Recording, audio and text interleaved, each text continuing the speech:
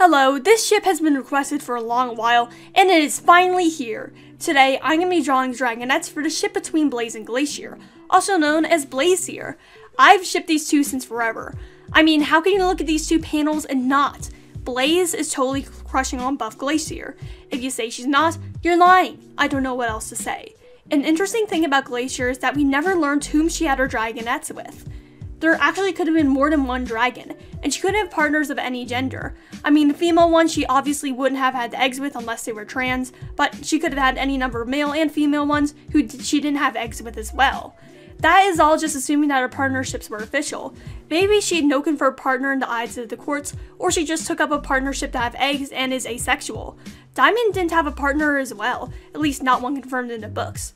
So maybe IceWing Queens do not officially take partners for some reason. If Blaze and Glacier had kids, they'd likely not be very public due to the two being queens. Not only would the Dragonets be large targets for assassins, but queens having hybrid Dragonets would also be a large scandal. I decided to name their kids after gemstones because gemstones have been IceWing names and Blaze likes gemstones. So I'm going to channel all my Steven Universe knowledge for this. The first Dragonet is named Topaz. She's a gossip and a bit selfish. She's proactive, and if she is given homework, she'd rather do it immediately rather than later.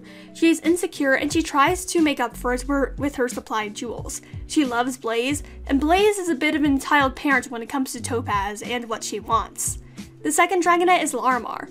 He's an escapist and constantly thinks of different possible realities, how things could have gone differently for him.